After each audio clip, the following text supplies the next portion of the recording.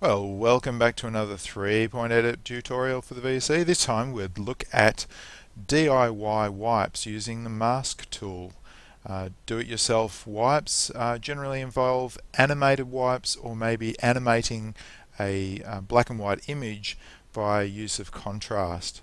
So then, what am I? What do I mean by that? So let's have a look for VSE. I'm going Control Left. Here we are control cursor to flick through my uh, displays. Anyway, here's the VSE that I've set up earlier. Currently I have a strip at the bottom here, which is our A strip, and it transitions into our B strip on top, which just replaces the uh, edit underneath. I can change where I'd like my edit to begin by sliding that. I'm just right mouse clicking dragging or I could select it by right mouse clicking and then pressing the G key to drag it like that. Uh, anyway, what I'd like to do is dress up that transition where it's just a cut at the moment. Of course, I could use a dissolve like this. I could select the bottom track and the top track together with shift and right click. I could then go to add and go to effect and we could do a let's see you could do a wipe like this. And you can define the wipe over here. Wipe type single double iris clock. There's a clock. Why don't we make our own though? So let's just delete that effect. Select. We don't have to select any of them at the moment let's import a graphic or a black and white piece of artwork. So we'll go down to image import, shift A for add, and we'll go to radial texture. Here's a texture I created earlier. Let's have a quick look at that. Show me picture. Here it comes, here it comes. And there it is. So we'll go add image strip. It's at the bottom, it's being hidden at the moment. I'll uh, press the page up button to snap to the beginning of the next clip. I'll highlight with right, right or select with the right mouse button the radial texture that I just imported. I'll press press Shift S to snap it into the right place. Now I'll press G for drag and the Y key to constrain it. Now I can only move vertically on the Y axis. Left click to let go and drop it there. And now I have this gradient occurring. You can see that the gradient starts on one side and wraps around to the other. And what this should do is in, is in, imply uh, a mask for our incoming shot or shot B here. So what I can do is alter the contrast and brightness of this strip to animate it. So Let's see, we'll use a strip modifier and we'll add brightness and contrast for this strip. So what we'll do is we'll go to the beginning of the strip, make set a value of say, I think it's negative 50, I've tested it earlier, and keyframe that. Oops contrast. Set the contrast, say at 100. And move down to the other end of the strip where we'd like the effect to end. And make a new keyframe. This time it'll be a positive value of 50. And make that a keyframe with the I key. Or you could right mouse click on it and select or insert keyframe which doesn't appear because I already have a keyframe there you can see the keyframes on the bottom in this timeline. First one and the second one. Nothing seems to be happening at the moment. I'll refresh the sequencer. Maybe I have too much contrast. I do. So you can see that I can change how much how many grey values there are from complete black to complete white.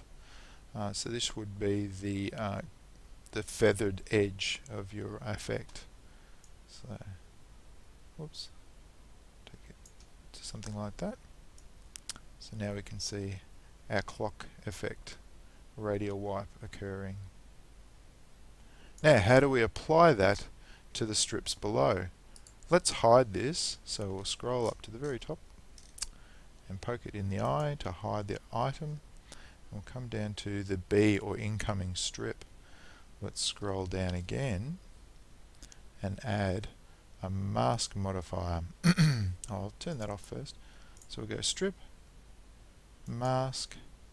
That's what kind of mask. We'll select a strip for a mask and in the mask window we'll click on here with the left mouse button and select the mask type, uh, the mask input that we require. So we'll choose radial JPEG, uh, radial ping, sorry, radial texture ping. And because I've already modified it, you can see the effect of that modification where it was white to black. So the outgoing shot is in the black and the incoming shot is in the white region with the feathered edge where the grey was. So if I scrub along there, you can see that effect working now.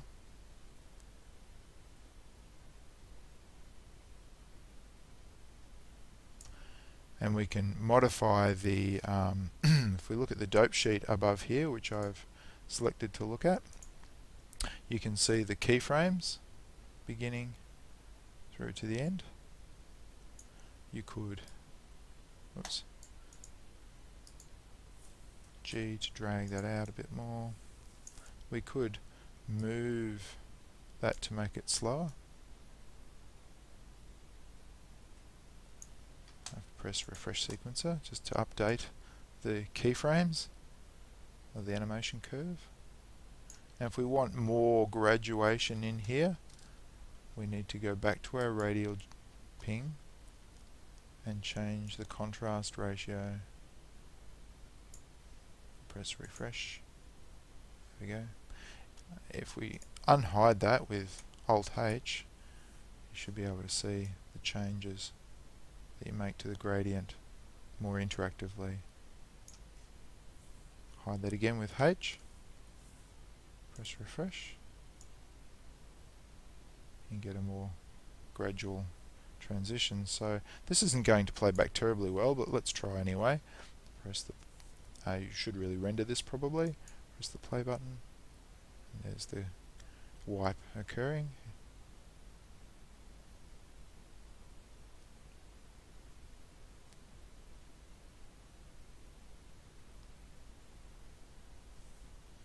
Hmm, seems to have a residual um, amount of wipe occurring there. So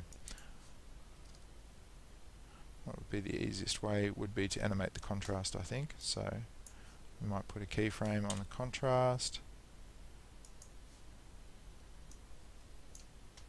Oops. Refresh. Keyframe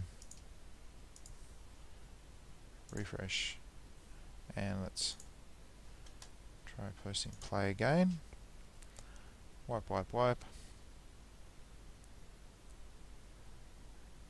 coming up to the end of the animation and well it disappears so there you go. So that's how you generally animate. Now, if you wouldn't have to do these animated uh, contrast values or brightness values if you're using uh, an animation that already transitioned from white to black. Perhaps you have built your own wipe or you have an animation of, um, I don't know, another person or object moving that creates a white boundary that uh, um, is covered by, uh, or starts off in white and ends up in black, much like, oops, Alt H to hide, much like this. So, oh, sorry, starting in black and animating around to white. Uh, there you go. So that's using the mask strip modifier. I'll just turn that off. Mask strip modifier on the incoming shot uh, to create um, a key effect. Now, do bear in mind that when you add shots to start with, if you just import a movie, let's just import a movie, any movie will do. If you import this movie it starts off as a cross type and that won't work because you need to turn on the alpha channel so if I delete that demonstrate it uh, if I go to cross it's not revealing what's underneath. So what you need to do is change it to overdrop or alpha over to activate the alpha channel and reveal what might be below it. So there you go. Uh, that's how you can create your own wipes using the wonderful new uh, strip modifier with new and improved functionality with the mask tool. There's lots of wonderful things, wonderful things you can do with the mask. Uh, one of the other things I've done is produce interlace images by um, um, speeding up my footage from 50 frames per second uh, to 25 frames per second, duplicating it and interlacing it with another um, version of the same footage um, so that I effectively uh, co-locate two frames in the one place uh, and the image that I use for that is this interlace ping. That looks lovely doesn't it? But if I zoom right in you can see that it's alternating black and white lines. So each image would go here and here and then the alternating line would go here and here. And I apply that to my source as a mask as well. You zoom out with the home button, press hide, go down here. Now I can't add another strip modifier because I'm already using one for the wipe. I would have to press K to cut that. Now remove, highlight the strip, remove the old wipe, and perhaps add a mask, or add a, sorry, a curve. I'll call it interlace.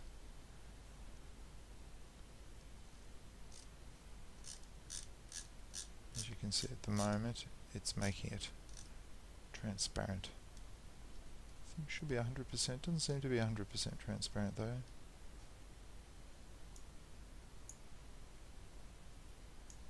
Oops.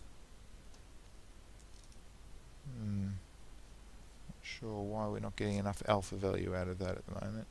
Ah. Interlace ping. Oh, got it on as a mask.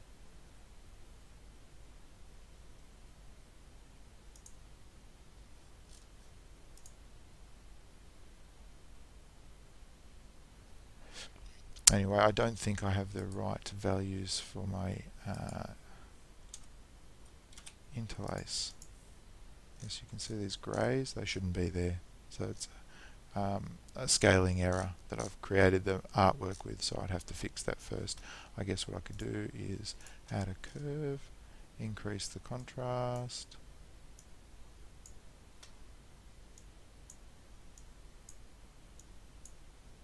Hmm. Still seem to have a contrast issue, don't I? Hide that. Then add mask, select, interlace. And uh, my interlace image is incorrect because it's the wrong uh, the wrong ratio of lines, but you get the idea. Cuts holes in the image anyway. So there's another use for using the mask in the VSE. Well, I hope you've enjoyed this quick demonstration of performing a wipe and I hope to see uh, lots of ideas on uh, how to use it yourself. Anyway, um, good luck with that and uh, please let me know if in the uh, comments page, uh, comments below on the YouTube page if there's anything else that you'd like to see um, illustrated or demonstrated uh, for the VSE, that'd be great. Um, once again, thanks very much and uh, catch up with me as Three Point Edit on Twitter or uh, I'm at the Blender Artists uh, uh compositing um, thread uh, forum subboard quite a lot. Uh, ask me any questions there and we'll try and sort out an answer. once again, thanks very much.